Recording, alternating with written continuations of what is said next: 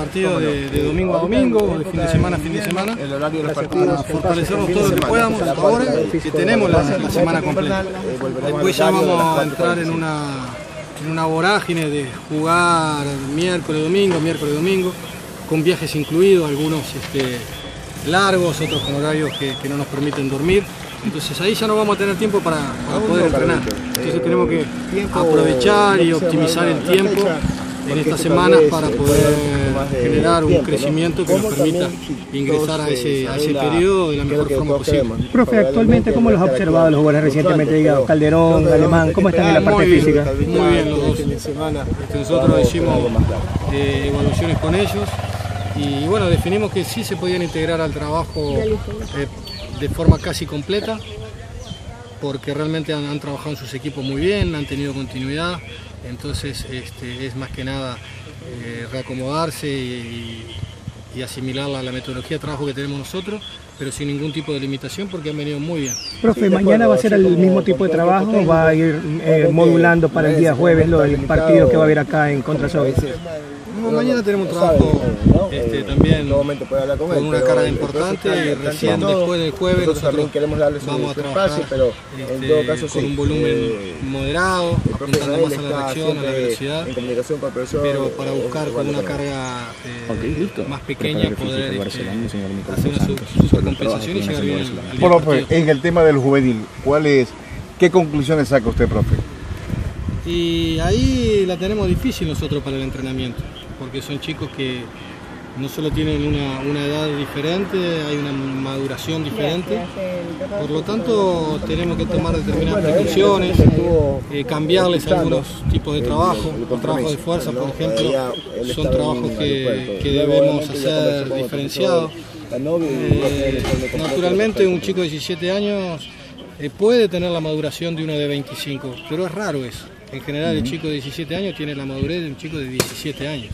Entonces ante esas situaciones que tenemos que, que adaptar la forma de entrenamiento. Podrá tener esa madurez eh, mental, pero no física, en esa estructura, en esa formación. pero tampoco nada nos asegura que va a tener esa madurez mental. que será nuestro primer ¿Cuáles son los parámetros que se han tomado para determinar que hay determinados chicos en los clubes que tienen la madurez física, mental o futbolística como para poder estar a la par de- del resto? No es así, es una apuesta que se hace, eh, naturalmente se Como podrá- dice uno, un tiro libre, tiro al se podrá analizar, se podrá ver qué, qué resultados da, este, pero de hecho en cuanto al entrenamiento sí, tenemos que, que ser sensibles a, a- a cada jugador. Ustedes me están preguntando de un jugador profesional como, como Alemán que tiene 25 años, que ya está formado, me dice, ¿cómo bien? Porque aún ahí puede haber alteraciones.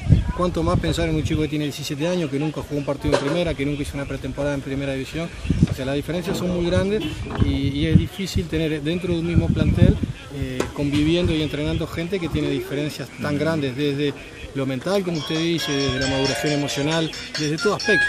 Entonces, a partir de esas situaciones que, bueno, tenemos una, una tarea adicional de, de- de tratar de que ellos sigan evolucionando, sigan madurando, este, aún en una situación de, de estar en el fútbol de alta Profe, hoy vimos aquí algo de tecnología, vimos ya implementando una computadora. ¿Qué fue lo que se realizó ahí? Sí, el, el club adquirió eh, para cada uno de los jugadores un- unos dispositivos que indican en tiempo real la frecuencia cardíaca de cada jugador. Eso nos permite a nosotros en cada momento poder chequear en la computadora cuál es la, la exigencia que está representando para el grupo a través de los gráficos colectivos y para cada uno de los jugadores individualmente el tipo de esfuerzo.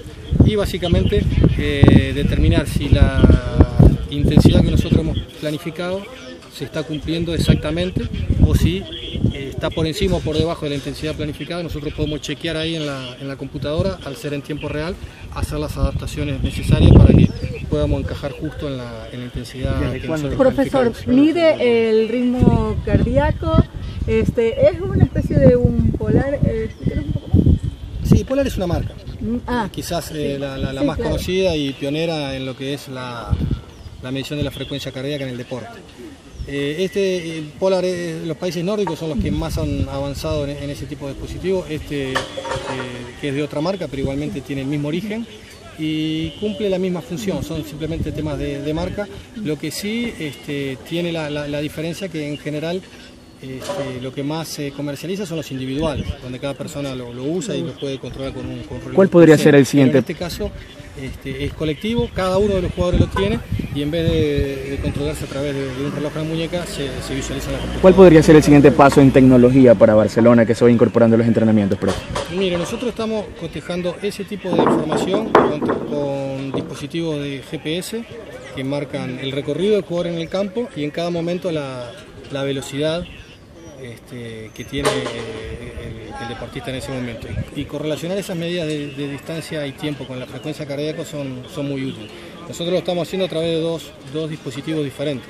Hay otros que ya lo tienen incluido, que se están utilizando mucho en, en Europa con un costo altísimo, pero bueno, eh, hemos dado pasos importantes porque ya disponemos de toda esa tecnología, de GPS, de control de la frecuencia cardíaca en tiempo real.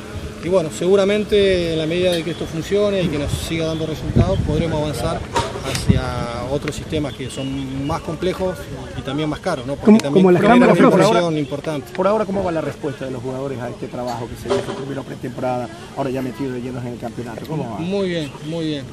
Este, estamos muy satisfechos porque los jugadores han hecho un, un gran esfuerzo y, y estamos viendo que, que todo ese esfuerzo está dando resultados. Lo vemos muy bien eh, en la mayoría de las valencias que hemos trabajado este, en pretemporada. Y bueno, ahora ya hay una etapa de, de- de afinamiento que va más a, a lo que es el, eh, lo futbolístico, la precisión con la pelota, en situación de juego real, de competencia. Pero sí estamos muy, muy satisfechos porque este momento rápido. eh, hemos podido, con, con el gran trabajo que han hecho los jugadores, aprovechar mucho este tiempo que hemos trabajado antes del inicio del torneo. Trabajo personalizado, individual.